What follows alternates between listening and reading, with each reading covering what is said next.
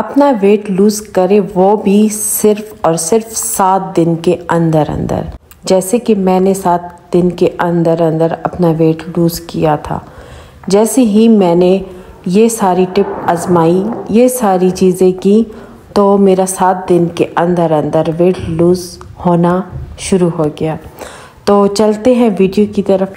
अस्सलाम वालेकुम I hope आप सब ठीक होंगे. वेलकम बैक आवर चैनल मैं आपके साथ ऐसी हैरत अंगेज टिप्स वेट लूज़ के शेयर करूँगी कि आप भी हैरान हो जाएँगे और आप सात दिन के अंदर अंदर अपना वेट लूज़ होना आपका स्टार्ट हो जाएगा। टिप मेरी नंबर वन ये है कि जैसे ही आप नींद से उठे, पहले आपने नाश्ता नहीं करना, कुछ भी आपने ना खाना है और ना ही आपने पीना है।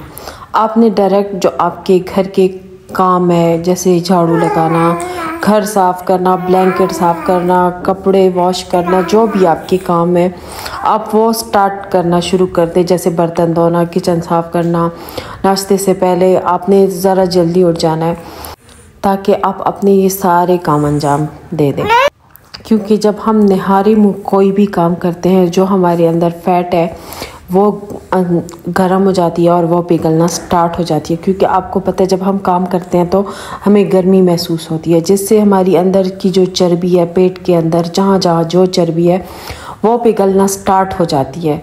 और, निहार, मुँह तो काम करना बेस्ट है। ना आपने ये करना है कि आप ठंड में बाहर निकले वॉक करें।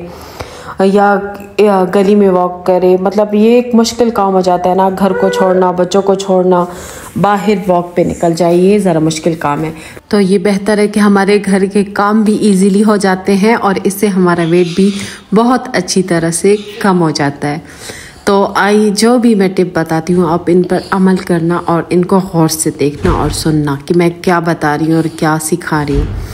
मेरा वज़न जब बहुत ज़्यादा हो गया तो मैं बड़ी परेशान हो गई। सबसे पहले तो मैंने मेट को हटा दिया था, क्योंकि एक तो वो नखरे भी ज़्यादा करती थी और दूसरा वो काम भी सही नहीं करके देती।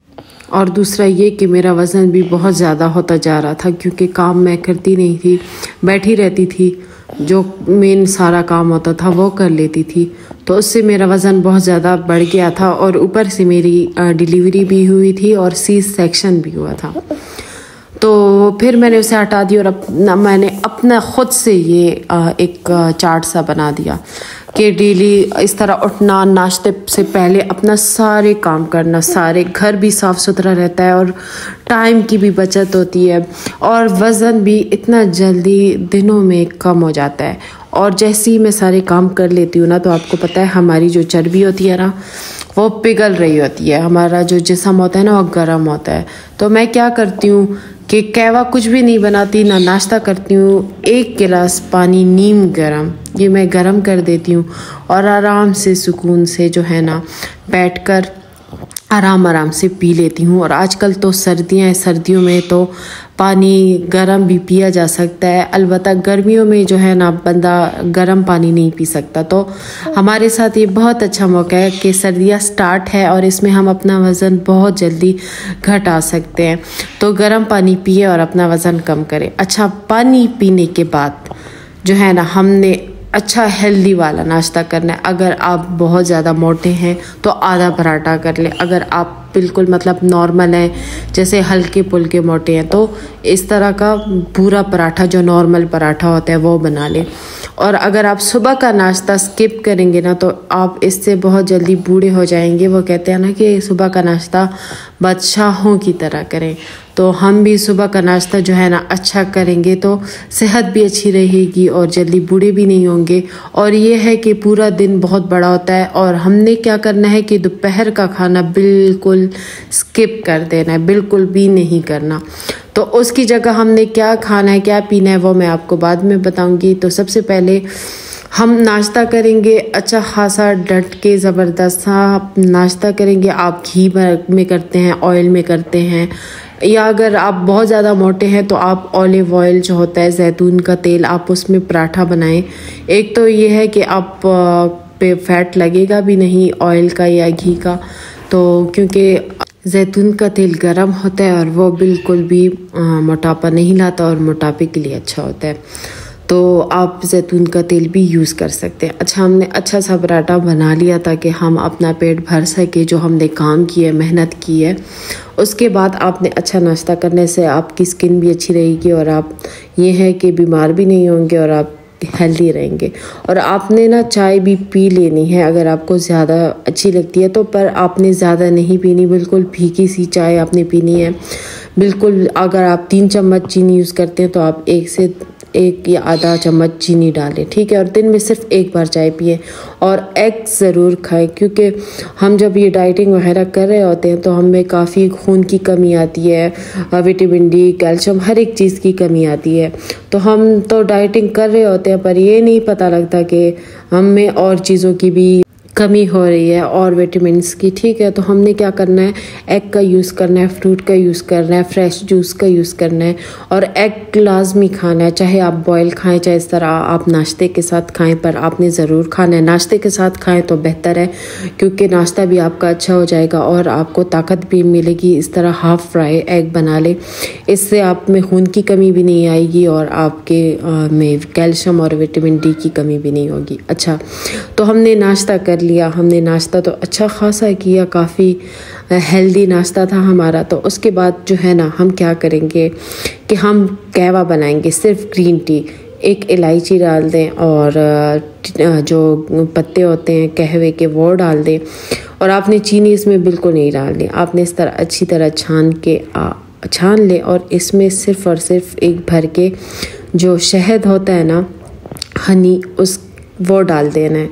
उसको अच्छी तरह आपने मिक्स कर देना है, जैसे अब मैंने डाला है। और ये जो आपकी जिसम में जो काम करेगा ना तो उसका फ़ायदा ही अलग है। गर्म, सर्दियों में ये फ़ायदा है कि आपका सीना गर्म रहेगा, आपके अंदर जितनी भी चर्बी रहेगी वो मेल्ट हो जाएगी, पिघलना शुरू हो जाएगी और आपकी स्किन बिल्कुल तरोज़ा ताज़ा होगी और झुरियाँ नहीं पड़ेंगी और इससे आप की जो फैट है ना वो कम हो जाएगी और आपका वज़न बहुत जल्दी लूज़ होना स्टार्ट हो जाएगा। तो हम जाएँगे, आराम से बैठ कर पियेंगे और इसे आपने गरम गरम ही पीना है, ताकि ये अपना असर दिखाए और जो हमारी चर्बी वगैरह है ना वो पिघल जाए। आप इसमें नींबू भी डाल सकते हैं। मैंने नींबू इस वजह से नहीं डाला क्योंकि मुझे एलर्जी है नींबू से तो फिर मेरा गला ख़राब हो जाता है, मुझे छींकें आना स्टार्ट हो जाती हैं और खांसी स्टार्ट होना जा स्टार्ट हो जाती है, ठीक है?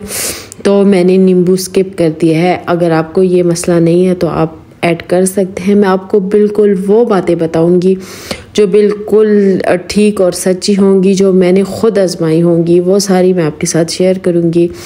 ताकि आपका भी फ़ायदा हो और मुझे भी आप दुआओं में याद रखें। तो मुझे आप सबने लाजमी बताना है, ठीक है कि फ़ायदा हुआ कि नहीं? फ़ीडबैक ज़रूर देना है। अच्छा इधर हम चलते फिरते काम भी कर रहे हैं। हमने, क्योंकि दोपहर का खाना तो स्किप कर दिया तो हमने उसमें क्या करना है? मैंने बताया था, वो मैं एंड में बताऊँगी। हमने उसमें फ्रूट्स खाने हैं, सिर्फ़ और सिर्फ़ फ्रूट खाने हैं, क्योंकि अगर हम दोपहर का खाना भी नहीं खाएँगे और फिर तो ये है ना कि हमें खून की कमी आ जाएगी विटामिन की कमी आना स्टार्ट हो जाएगी। तो हमें जो फ्रूट भी आपको मिले, जैसे अब मेरे पास हम लोग पड़े थे और ये चुकंदर और गाजरें और बनाना पड़ी थी तो ये मैंने काट ली और जब मैं काम कर रही थी साथ साथ तो खा भी रही थी, क्योंकि अक्सर हम इस तरह होते हैं ना फ्रूट खाने में बड़ी सुस्ती करते हैं। मैं तो ख़ास कर बहुत करती हूँ। मेरे हिस्से का फ्रूट ख़राब भी हो जाता है तो मतलब मैं इतना ख़ास ध्यान नहीं देती। अच्छा मुझे लगता है, पर यह होता है कामों में बिज़ी होती हूँ। तो इस तरह मैं काट देती हूँ और थोड़ा थोड़ा पीसेस में ना मैं खाती रहती हूँ। काम भी करती हूँ फ्रिज खोलती हूँ, एक पीस ले लेती हूँ, मुँह में डाल देती हूँ, ठीक है? आपने भी इस तरह कर देना।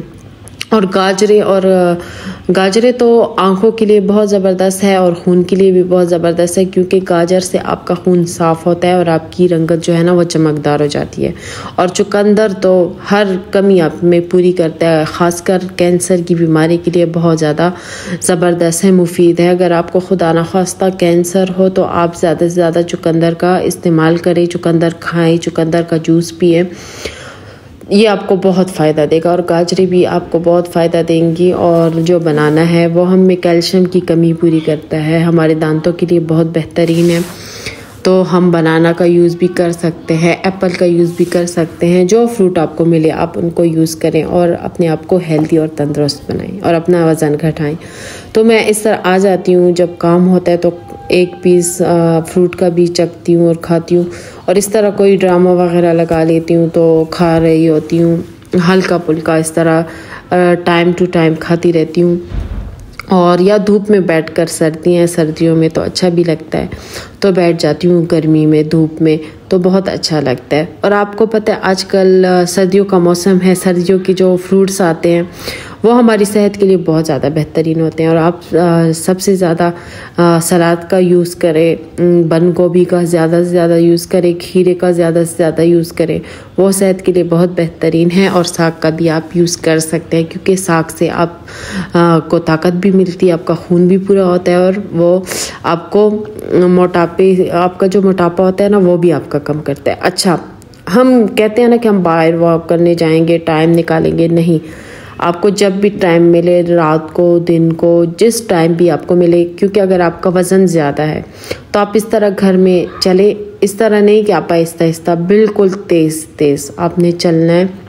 आपने अपने साथ टाइम को नोट कर देना है कि आपने कितने टाइम तक वॉक करना है। ठीक है, जितना भी आपने करना है, बस वो आप नोट कर दे। अगर मेरी वीडियो आपको अच्छी लगी तो लाइक करना सब्सक्राइब करना। अल्लाह हाफिज़ बाय बाय